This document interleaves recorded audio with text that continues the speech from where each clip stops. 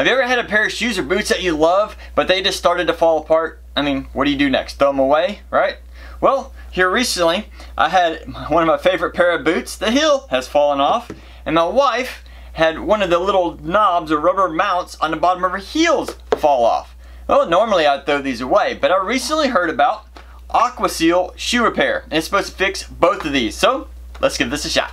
According to the back of this packet, it's supposed to be permanent, waterproof, flexible, and abrasion resistant. I'm going to first start with the boots. Uh, the thing is, is, the instructions say that if it's non-fabric surface, I need to scuff it up with sandpaper. And unfortunately, it's kind of tight to get in there. So I have a feeling I need to rip the rest of the heel off and then reattach the whole thing. So let's see. Oops. Okay, the front half seems to be on there pretty good, so I guess I'm just going to try and... Uh, oh, no, there it goes. There we go. In case you've ever wondered what the inside of a boot heel looks like, there you go. First I'm going to go in here and take a brush and try and clean out some of the debris, just still loose stuff that's in here so it doesn't just get in the way. And then we'll use some sandpaper on it. I'm just using some 60 grit here so I can get in here and make sure I roughed up this rubber really well.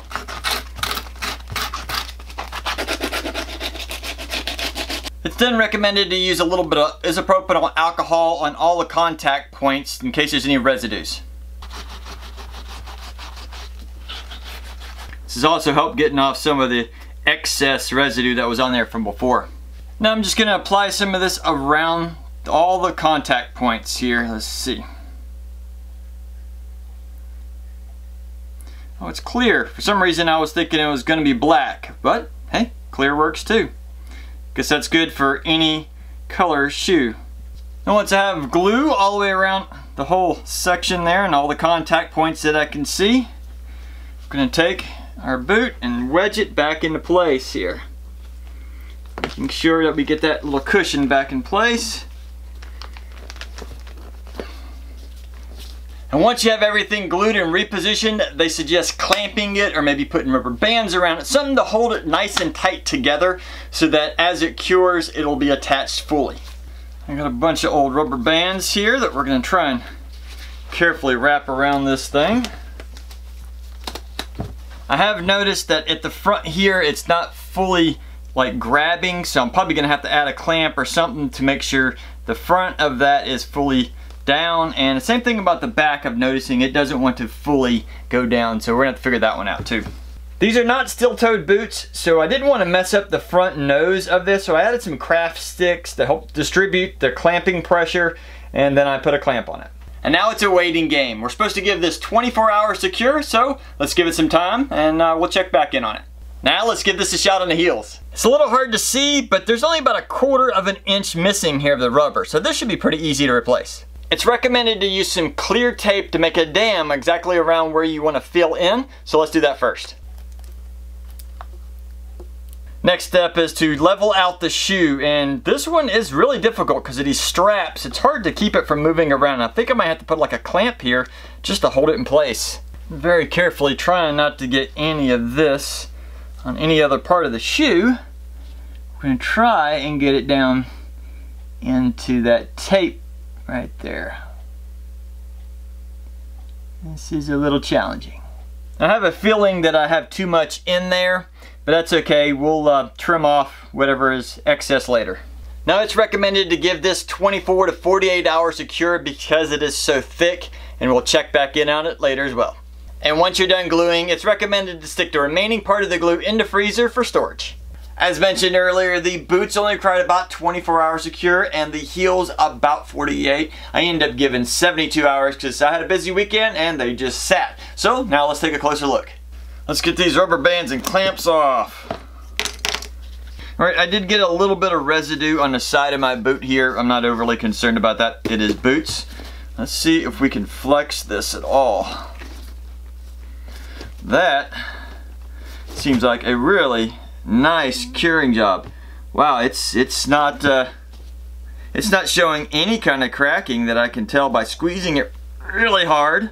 Now I do want to point out right here where I have a little bit of the glue squeeze out, there's a bunch of bubbles that have, I guess, dried within the gluing process or curing process. So, I mean, these are boots. I'm not worried about it, but if you're worried about a little bit of bubbles showing, then uh, you might want to take that into consideration. And the same seems to be true right here. I thought at first it was like a little bit of sawdust inside my boots. Nope, it's little fine bubbles within the glue. Okay, I guess the ultimate is to, let's put these on and test them out. All right, I got the boots on. Let's test this out, bending them a few times, see if, if they're gonna do anything weird. So far they're comfortable. Seems to be on pretty strong. Let's hit them a few times.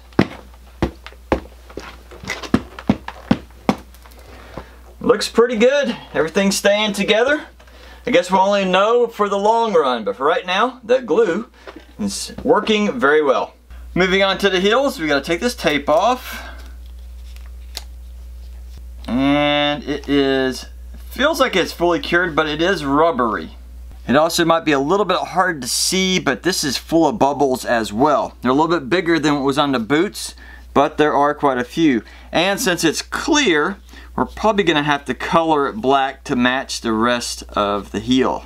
Also, the newly fixed heel is now a little bit taller than the original, so we're gonna have to trim this down. Now we need to make sure that the heel here is as straight as possible with the rest of the shoe. And so we are trying to line everything up with my workbench, these lines that I have here. And then I'm just gonna use a razor blade to cut this off.